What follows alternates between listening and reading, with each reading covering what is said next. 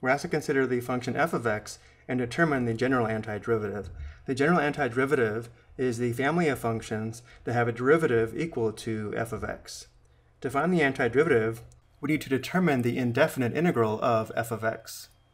If we take a look at our notes below, the integral of f of x is equal to big F of x plus c, where big F of x is the antiderivative of f of x, the integrand function, which means the derivative of big F of x is equal to little f of x.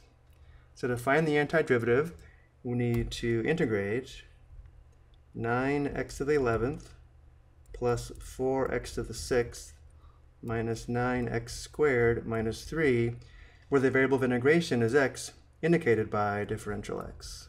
And now to integrate, we will use the integration formulas shown here below, where the integral of x to the power of n is equal to x to the power of n plus 1 divided by the quantity n plus 1 plus c, and the integral of a constant is equal to the constant times the variable of integration plus c. We will integrate each term one at a time, and then we'll add the plus c to represent any constant at the end.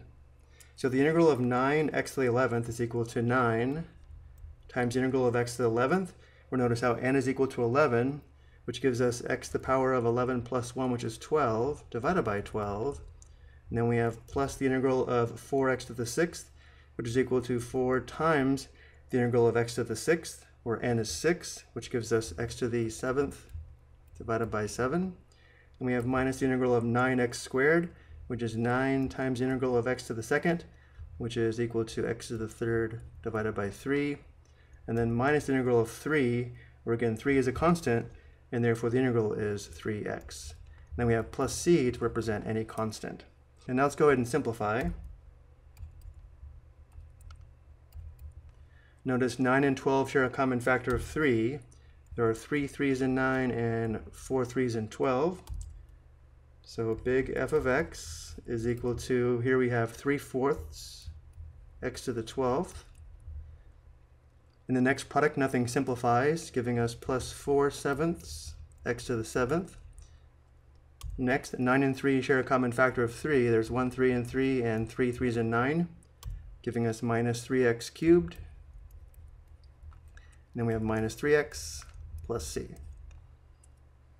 So big F of x is the general antiderivative, which means if we differentiate big F of x, we should get the integrand function f of x or the given function. So let's go ahead and check that.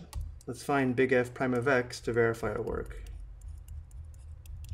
The derivative of big F of x is equal to 3 fourths times the derivative of x to the 12th, which is 12 x to the 11th, plus 4 sevenths times the derivative of x to the 7th, which is 7x to the 6th, minus 3 times the derivative of x cubed, which is 3x squared,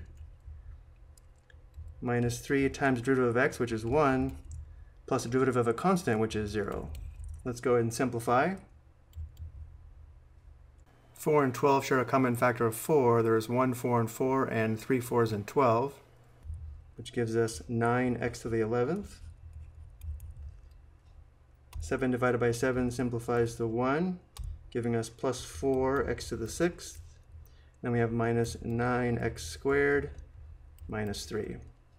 And notice how big f prime of x is equal to the original function f of x, verifying we did find the general antiderivative correctly. I hope you found this helpful.